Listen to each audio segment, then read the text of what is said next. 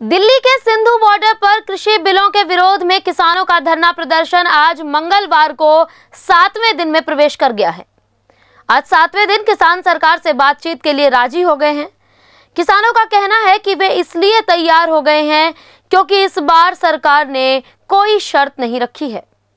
सरकार और किसान नेताओं के बीच आज, यानी मंगलवार दोपहर तीन बजे, दिल्ली के विज्ञान भवन में बैठक होगी। आपको बता दें कि सरकार ने सोमवार देर रात किसानों को बातचीत का न्योता भेजा था। कृषि मंत्री नरेंद्र सिंह तोमर ने कहा था कि जो किसान नेता 13 नवंबर की मीटिंग में शामिल थे, उन्हें न्योता दिया गया है। हालाँकि इस पर विवाद हो गया। दरअसल कृषि विभाग के सचिव की तरफ़ से जारी हुए न्योते की चिट्ठी में 32 किसानों के नाम थे। ये सभी पंजाब के किसान नेता थे। ये हरियाणा के अपने साथियों का नाम भी शामिल करने का दबाव बनाने लगे।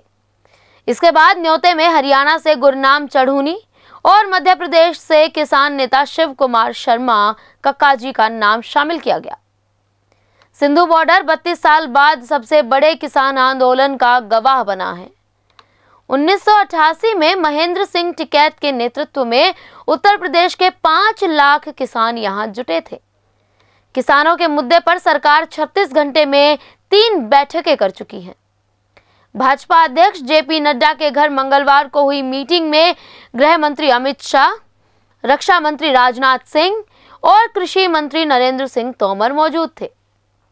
बैठक में शामिल होने के लिए शाह क्वेश्चंस के राइजिंग डे इवेंट में नहीं गए। आपको बता दें कि सरकार पहले इस बात पर अड़ी थी कि किसान तीन दिसंबर को बातचीत के लिए आए। सोमवार को सरकार ने ये जिद छोड़ दी और एक दिसंबर दोपहर तीन बजे 32 किसान नेताओं को बातचीत का न्योता भेजा। इससे पहले सरकार ने किसानों से कहा था कि वे प्रदर्शन खत्म कर बुराड़ी आ जाएँ तो बातचीत पहले भी हो सकती है। किसान इस पर नहीं माने। बताते चले कि हरियाणा की 130 खाप पंचायतें आज किसान आंदोलन में शामिल होंगी। उधर पंजाब में भी पंचायतों ने हर घर से एक मेंबर को धरने में शामिल होने के लिए कहा है। दिल्ली की टैक्सी और ट्रांसपोर्ट यूनियन भी सोमवार को किसानों के समर्थन में आ गई। उन्होंने कहा कि अगर दो दिन में कोई हल नहीं निकला तो हड़ताल करेंगे। समाचार एक्सप्रेस की रिपोर्ट।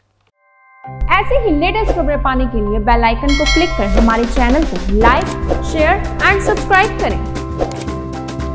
धन्यवाद।